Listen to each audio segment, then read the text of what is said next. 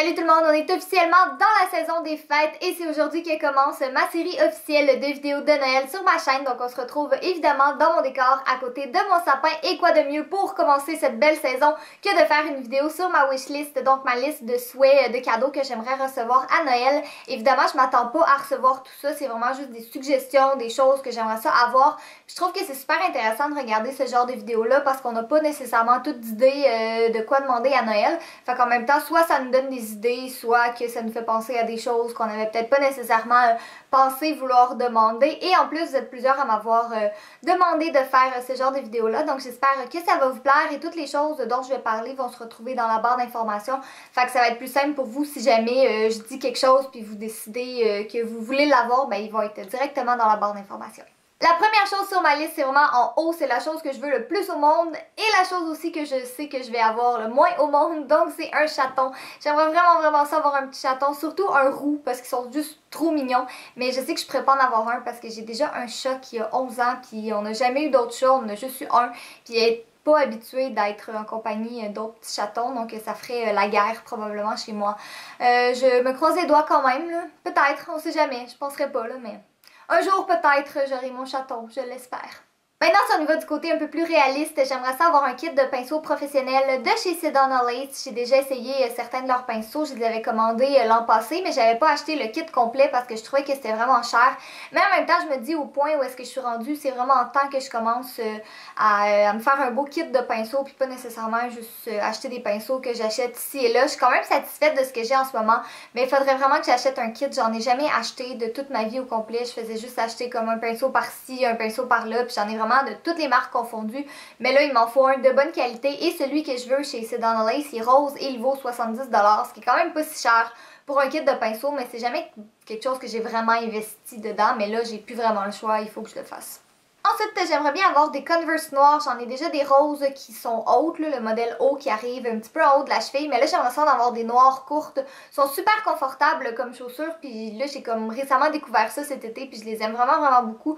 Fait que j'aimerais ça d'avoir des noirs. Euh, mes roses sont belles, mais ils vont pas nécessairement avec tout. Tandis que si j'en ai euh, des noirs, ben là, c'est passe-partout. Puis ça va vraiment avec euh, n'importe quoi. Peu importe ce que je porte. Et en plus, c'est vraiment pas salissant. Ensuite, j'aimerais ça avoir des Converse noirs. J'en ai acheté des roses cet été, euh, le modèle haut qui m'arrive euh, un petit peu en haut de la cheville. Mais là, j'aimerais ça en avoir des noirs et les courtes. Parce que les roses sont super belles, sont super confortables. Le seul problème, c'est que la couleur va pas nécessairement avec tout. Fait que j'aimerais ça en avoir des noirs. Euh, c'est pas salissant. Puis en plus, peu importe qu'est-ce que je mets, ben, ça, ben c'est sûr que pas quelque chose de trop chic. Mais je parle comme dans la vie de tous les jours, ben, c'est certain que je vais pouvoir les porter avec peu importe qu'est-ce que je mets.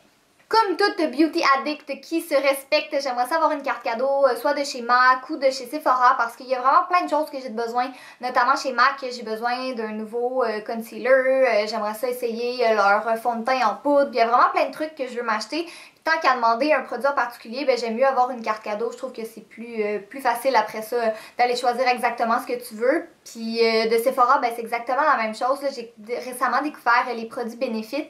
Puis je les aime vraiment, vraiment beaucoup. Je vais vous en parler euh, dans un haul dans quelques jours sur ma chaîne. Puis j'aimerais ça en avoir d'autres de cette compagnie-là parce que j'aime vraiment beaucoup ça. Mais je sais pas quoi exactement. Mon choix est pas nécessairement arrêté. Fait qu'avec une carte cadeau, c'est le fun. Tu te présentes en magasin, puis tu peux tester les produits, puis voir si t'aimes ça, voir si t'aimes pas ça. Fait que de chez MAC ou de chez Sephora, j'aimerais vraiment ça. Puis sinon, un autre genre de carte cadeau euh, de vêtements, fait que de American Eagle, euh, que vous savez que j'aime beaucoup, euh, de chez Garage, bref, un magasin de vêtements que j'aime aller, aller m'acheter, un magasin de chaussures. Sinon, il y en a qui trouvent ça plate recevoir des cartes cadeaux, mais moi j'aime vraiment ça parce que ça te permet justement de t'acheter qu'est-ce que tu veux, puis la personne qui te l'offre ben, est certaine que peu importe qu'est-ce que tu vas t'acheter, ben tu vas l'aimer parce que c'est toi qui l'as choisi. Fait que des cartes cadeaux, là, quand, que, quand je sais pas trop quoi demander, ben c'est toujours ça que je mets sur ma liste. Ensuite, pour les cheveux, j'ai deux fers que je voudrais avoir. Le premier, c'est un fer à onduler, donc le fer à trois branches. Ça fait super longtemps que j'en veux un, mais je n'ai jamais acheté euh, parce que je pensais que mes cheveux étaient trop longs. Mais là, j'ai remarqué que quand je me fais une tresse, c'est tout ondulé après.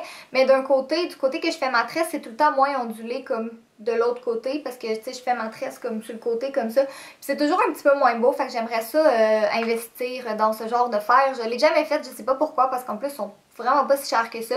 Fait que je l'ai mis sur ma liste, ne sait-on jamais. Et sinon, la semaine dernière, j'ai été euh, faire du shopping à Montréal et euh, il y avait un petit kiosque avec euh, des fer plats qui fonctionnent à la vapeur. Puis le monsieur qui était au kiosque, ben il m'a arrêté. Puis il a testé le fer plat dans mes cheveux. Puis ça allait vraiment super bien. Là, mes cheveux, ils étaient super doux après. Vraiment plus qu'à l'habitude. Puis en un seul mouvement de fer, là, il était vraiment super droit. Puis la journée où que j'étais allée, ben mes cheveux, étaient naturels.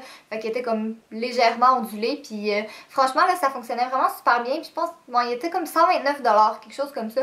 Ce qui est pas si cher que ça pour un bon fer plat. Puis au moins, là, j'étais contente. Il l'avait essayé sur mes cheveux. Fait que je sais qu'il fonctionne bien. Puis que ça va faire beau. Je sais que j'ai déjà comme trois fer plats. Mais en même temps, je trouve qu'ils vont pas nécessairement si bien que ça.